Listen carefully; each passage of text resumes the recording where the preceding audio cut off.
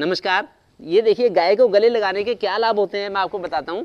गाय को गले लगाने को अमेरिका में तो कहते हैं cow hugging therapy cow cuddling therapy cow embracing therapy तो वहाँ पे तो इसकी बहुत कीमत है। डॉलर्स में कीमत होती है ऐसी हज़ारों डॉलर्स कीमत होती है, एक घंटा गाय को गले लगाने की। ये देखिए, जो गाय का शरीर है गाय के शरीर की मेटाबॉलिज्म बड़ी स्लो मेटाबॉलिज्म होती है बॉडी का टेम्परेचर गर्म होता है साइज़ इनका बहुत बड़ा होता है तो उसे बड़े मेडिकल बेनिफिट्स मिलते हैं हमें। एक तो हमारी बॉडी में गुड हार्मोन्स बनते हैं। ऐसे ऐसे डोपामिन, सीरोटोनिन ऑक्सीटोसिन अच्छे हार्मोन्स बनते हैं गाय को गले लगाने से और बैड हार्मोन्स का लेवल कम हो जाता है। जो स्ट्रेस हार्मोन्स हैं तनाव के हार्मोन्स कोर्टिसोल वगैरह, उनका लेवल बड़ा कम हो जाता है। ये इस वजह से होता है क्योंकि लो हार्ट बीट होती है गाय की। जो हार्ट बीट है, गाय के हृदय का स्पंदन बड़ा स्लो होता है उससे हमें बड़ा लाभ मिलता है, बहुत फ़ायदा मिलता है। और भारत के तो हर गाँव में गाय पाई जाती है, जगह जगह पे गाँव पाई जाती है और बिना पैसे के हमें थेरेपी का लाभ मिल सकता है। लोगों का ब्लड प्रेशर ठीक हो सकता है। अगर 40 दिन तक 10 मिनट के लिए हम गाय के पास रहे दस मिनट के लिए अगर गाय का हाथ लग हाथ सहलाएँ, इसके कमर को सहलाएँ और इसके पास में रहे तो बड़ा सारा लाभ मिल जाता, मिल सकता है। बड़ी सारी बीमारियाँ दूर हो सकती हैं। जो स्ट्रेस रिलेटेड बीमारियाँ आजकल जैसे मानव सभ्यता बढ़ती जा रही है तो उसमें स्ट्रेस डिसीजेज या लाइफ स्टाइल बहुत ज़्यादा बढ़ती जा रही हैं।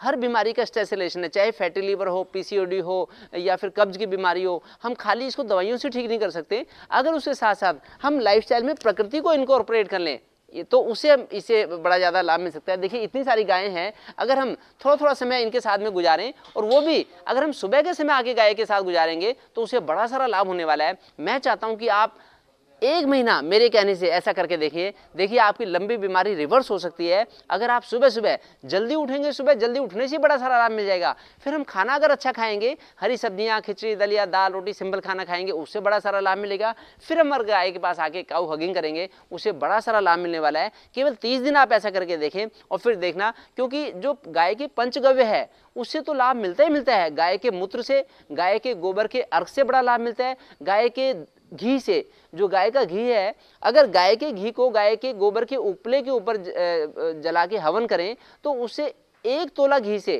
एक टन ऑक्सीजन निकलती है, जो कि बड़ी मानव जाति के लिए लाभदायक है। ये जो गाय है, ये चलता फिरता ऑक्सीजन का सिलेंडर भी है। इससे उसे निकलती रहती है हमेशा। तो इसलिए ऐसे प्राणी का हम लाभ क्यों ना उठा पाएँ? गाय को माता का दर्जा इसलिए दिया गया है कि गाय में बड़ा सारा मानव जाति के साथ रिश्ता शुरू से ही है और बड़ा सारा मानव जाति के लिए लाभ के लायक है और फिर अनेक पुराणों में, वेदों में तो इस चीज़ का वर्णन है ही है। और भारत के प्रधानमंत्री श्री नरेंद्र मोदी जी ने भी गाय माता को सराहा है। उन्होंने बोला है कि गाय दस करोड़ लोगों का एक आजीविका का साधन है भारत में और आने वाले समय में इसमें और भी ज़्यादा एक जो भारत की अर्थव्यवस्था को ठीक करने की क्षमता छुपी हुई है, लोगों को उसका लाभ उठाना चाहिए और गाय को माता का दर्जा इसीलिए दिया है क्योंकि गाय में हमारी रक्षा करने की भी शक्ति छुपी हुई है, मानव जाति की रक्षा कर सकती है गाय, अगर हम इसको उचित दर्जा दें और इनके साथ अपने रिश्तों को कायम रखें।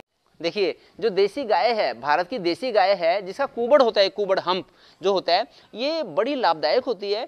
इसका जैसे मानव जाति में ईड़ा और पिंगला नाड़ी होती हैं, इसी तरह से गाय में सूर्य नाड़ी, केतु नाड़ी होती है, जो कि रडार की तरह से ब्रह्मांड में से ऊर्जा को लेके उस ऊर्जा को एक मेटाबॉलिक उससे चेंज करके और एक पीले पीले द्रव्य के रूप में बदल देती है। जैसे कि विटामिन डी होती है, जैसे विटामिन ए होती है, ऐसे ही ये एक द्रव होता है, पीले रंग का द्रव, जिसमें कि थोड़ी सी मात्रा में सोना होता है। अगर गाय का एक क्विंटल दूध को हम उबालें, उसमें से एक मासा सोना निकलता है, एक मासा सोना। तो इसलिए गाय का दूध बड़ा ही कीमती दूध है, जो प्योर देसी गाय का दूध है, इसे ए टू मिल्क कहते हैं। ए टू मिल्क बड़ा ही कीमती माना गया है। मॉडर्न साइंस ने भी रिसर्च किया उसके ऊपर कि ए टू मिल्क खाने से ए टू मिल्क का उपयोग करने से बड़ी सारे लाभ मिलते हैं मानव जाति को। आजकल दुनिया में ज़्यादा से ज़्यादा ए वन मिल्क यूज़ किया जाता है, जिसकी वजह से फैटी लिवर पीसीओडी फाइब्रोइड और तरह तरह की बीमारियाँ होती है। जो जो कोलेस्ट्रॉल को ज़्यादा वो करता है पैदा करता है और कोलेस्ट्रॉल जाके धमनियों में चिपकता है।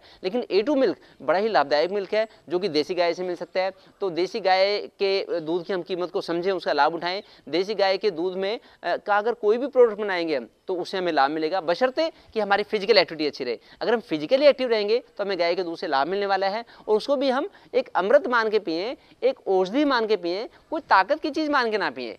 हम औषधि मान के लेंगे अगर उसका उपयोग तो हमारे लिए औषधि का काम करेगा हमें निरोगी रखेगा हमारी इम्यूनिटी को इम्प्रूव करेगा तो इसलिए उसका लाभ उठाएँ। और इसी तरह से गाय के दूध की बनाई हुई दही जो है वो भी लाभदायक है। और जो गाय का घी है अगर उसको जैसे नाक बंद होती है नाक में डाल सकते हैं कान में दर्द हो रहा कान में एक बूंद डाल सकते हैं मालिश कर सकते हैं उसकी बॉडी की, की पूरी बॉडी की अगर मालिश करेंगे गाय के दूध से बनाए हुए घी से देसी गाय के घी से तो उससे जोड़ों का दर्द ठीक होता है।